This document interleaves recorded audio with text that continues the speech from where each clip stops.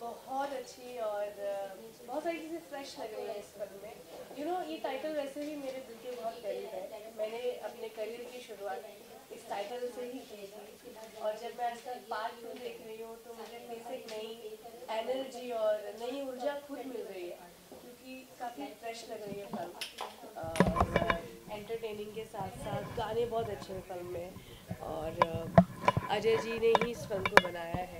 Definitely film बहुत अच्छी होगी और लोगों को पसंद आएगी रानी जी बेसिकली इस फ़िल्म से जैसे आप लॉन्च हुई थी वैसे एक नई एक्ट्रेस लॉन्च हो रही है। इस एक्ट्रेस में और जो आप रानी चटर्जी जी हैं इसमें कोई सिमिलरिटी है अरे मैं तो बहुत ही गंदी थी ये तो बहुत अच्छी है। मैंने मैंने देखा अभी she is very confident and actor बहुत अच्छा है। Uh, दोनों ही बहुत कॉन्फिडेंट है लग नहीं रहा है कि दोनों की पहली फ़िल्म है।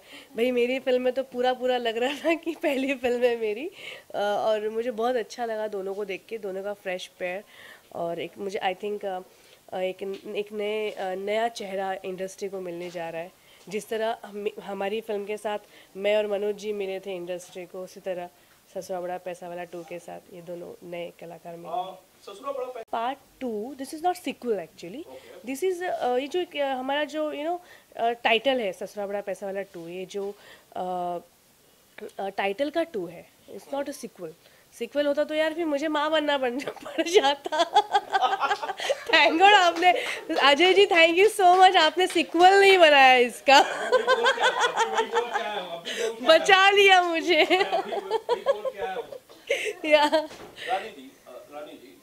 बेसिकली आपने कहा कि सिक्वल नहीं है जो नई जोड़ी है जैसे इस फ़िल्म ने बड़ा कहते हैं कि भोजपुरी की कमबैक मूवी थी बेसिकली ये भोजपुरी का दौर एक बार वापस आया था।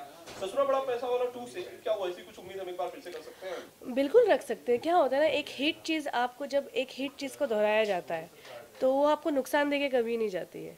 ससुरा बड़ा पैसा वाला बच्चों से लेके, बूढ़ों से लेके, हर जनरेशन ने उस फ़िल्म को देखा है। तो कहीं ना कहीं वो टाइटल जहन में है। तो ये टाइटल तो अपना वर्क करेगा ही करेगा। और जिस तरह का दौर अभी चल रहा है हमारे इंडस्ट्री को, मुझे लगता है कि इस तरह के किक की बहुत ज़्यादा ज़रूरत है। और जो सुपरस्टार्स हैं इंक्लूडिंग मी ऑल्सो जितने लोग मेहनत कर रहे हैं, हो सकता है कि उनके, उनसे दौर ना बदले, कोई नया फ्रेश पैर आके ही दौर बदले। तो अगर इस फ़िल्म से होगा तो ये मेरे लिए बहुत प्राउड मोमेंट होगा क्योंकि जब मैं आई थी तब उस फ़िल्म से दौर बदला था और जब ये फ़िल्म आ रही है इस फ़िल्म में भले ही मैं एज ए विजुअली नहीं हूँ लेकिन कहीं ना कहीं कनेक्टेड तो रहेगा ही मेरा नाम या मनोज तिवारी जी का नाम तो हमारे लिए हमेशा से प्राउड मोमेंट ही होगा। अगर सीधे साधे शब्दों में पूछूँ आपको नहीं लगता कि आपको भी पार्ट टू का हिस्सा होना चाहिए था क्या चाह रहे हैं? मतलब माँ बन के आ- अजय अजय जी चाहते तो एक आध दो शॉट तो मैं दे ही देती। पार्ट टू का हिस्सा यू नो अगर मैं एज ए विजुअल नहीं भी रहूँ ना तो नाम तो जुड़ा रहेगा हमेशा। और ये ससुरा बड़ा पैसा वाला जब भी बनेगी भोजपुरी में, वो तो हम, हमने तो हिस्ट्री की हुई है, वो तो नाम हमेशा वो जमा दिया है अपना नाम। हम एज अ विजुअल रहे ना रहें, लेकिन ऐसे तो हम हमेशा रहेंगे। मनोज तिवारी जी एक्टिव नहीं है। भोजपुरी सिनेमा में मनोज तिवारी एक्टिव नहीं है पॉलिटिक्स में स्ट्रगल पॉलिटिशियन वो एकदम सही जगह पहुँचे हुए वो जहाँ के लिए बने थे वहीं पर है वो। है? बताइए। क्योंकि उनके अंदर नेता नेता ज़्यादा था अभिनेता कम था। ये आपने ये आप कोई कोई इंसिडेंट बताइए। आपको क्यों लगता है कि अभिनेता कम था? बिकॉज़ आप तो शायद आपने सुना होगा आनंद या राम ने शायद देखा भी होगा। राम तुम थे क्या? दस साल पहले? हाँ था। तो इसने देखा भी होगा। कि सेट पे पॉलिटिक्स बहुत होती थी। तो ये पॉलिटिक्स कौन करता था? मनोज जी करते रहते हैं जो कर रहे हैं वहाँ जाके वही करते रहते थे। ये काटो वो काटो इधर काटो उसका काटो उसका काटो। तो यू नो ही ही ही इनके अंदर उनके अंदर पूरी क्वालिटी है नेता वाली। और अ, मुझे लगता है वो बहुत सही जगह हैं अभी और बहुत अच्छा कर रहे हैं। इस पॉलिटिक्स का की शिकार कभी रानी चटर्जी नहीं मैं कभी नहीं हुई। क्यों? मैं उनसे बड़ी पॉलिटिशियन हूँ। आजकल क्या रानी को क्या हुआ है? आजकल अपने हीरोज की पोल खोलती रहती है। देखो, मैं पोल सिर्फ़ अपने दोस्तों की खोलती हूँ। मनोज जी मेरे ऐसे दोस्त हैं। आज ही उनका जन्मदिन भी है तो मैंने उनको विश भी किया। मैं उनको बहुत प्यार से सोना सोनू टाइप बुलाती रहती थी तो मैंने आज वो मेंशन भी किया है। तो वो मेरे दोस्त हैं वो मेरी बात का बुरा नहीं मानते और वो जानते हैं कि वो भी मेरे बारे में बहुत कुछ बोल देते हैं। कभी कभी जब बोलना होता है महफिल महफिलों में तो ठीक है मुझे भी मौका मिला तो मैंने भी बोल दिया। वैसे प्रदीप पांडे चिंटू भी आपके दोस्त हैं उनकी भी पोल खोलते रहते हैं आप आजकल? क्या पोल खोली मैंने उसकी? ये क्या चल रहा है यार लैला मजनू टैग? सीरियसली मतलब अ, मतलब मुझे हँसी भी आ जाती है बट ठीक है चर्चाएँ हो रही है ना चर्चाएँ होती रहनी चाहिए। और किसी हैंडसम जूट के साथ हो रही है तो आई एम सो हैप्पी बहुत सारे हैंडसम ड्यूड हैं भोजपुरी फ़िल्म इंडस्ट्री में। और कौन है?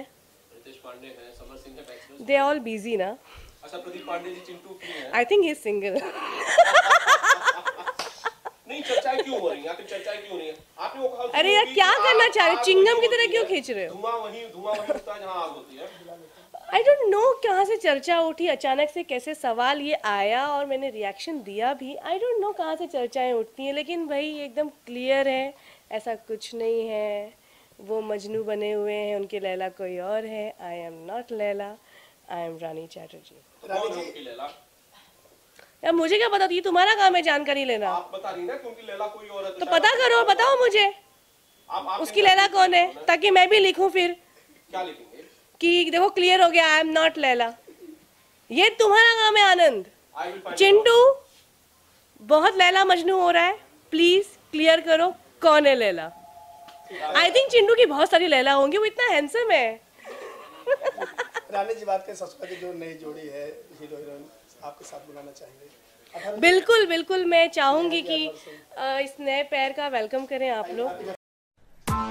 Press the bell icon on the YouTube and never miss another update